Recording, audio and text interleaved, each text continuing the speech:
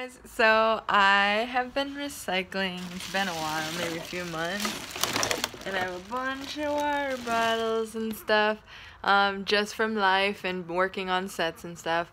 So I, in California, you can return your water bottles for money, so I'm gonna see what I can get for this and how the experience is of going there. Guys, um, I'm here at the place, and I feel like I, it's not what I expected, it's just a tiny little place, and people are coming with giant blue bins with this stuff so I feel like I don't really have much compared to them.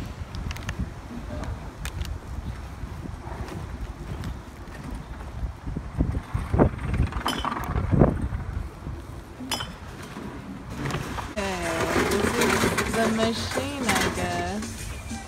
Put it there.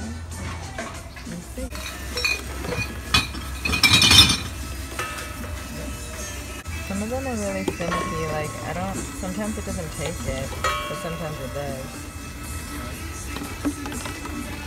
See, it depends how you place it. Sometimes it'll take it, sometimes it won't.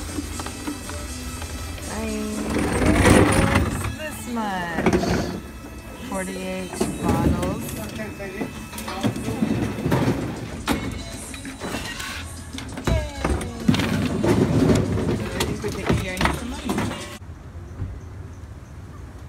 Like some people had bins upon bins or like only glass bottles um, and other things so like maybe it's totally worth it. It said you could redeem up to $20 worth.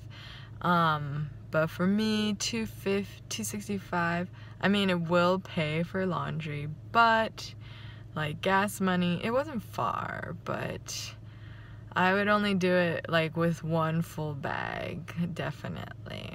Um, but yeah it is an interesting new experience